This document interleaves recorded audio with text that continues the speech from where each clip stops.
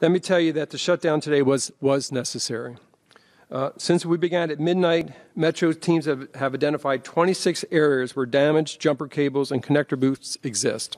We segment, segmented the system into 22 underground inspection zones where 600 jumper cables were, are, are located.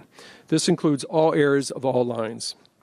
Each of the 22 zones were inspected by teams that were looking for defects in jumper cables, connecting boots that were damaged or improperly positioned, water infiltration, and debris that could burn near, near uh, cables.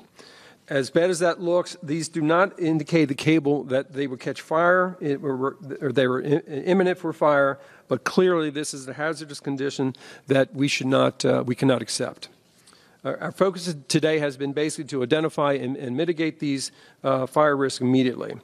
Uh, and again, this is why the system was closed.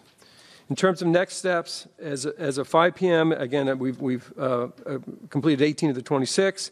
Before 5, um, at 5 a.m., before 5 a.m. tomorrow, uh, we will finish the immediate repairs for all 26 and any additional ones that we find over the next few hours. If we do not, and so we will open the system tomorrow at 5 a.m.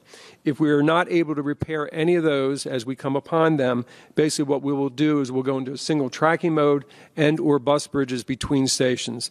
But our intention basically is to finish all of them through the through the evening. We have the teams in place in place to do it, and what we found to, uh, to so far, we are confident we can get there.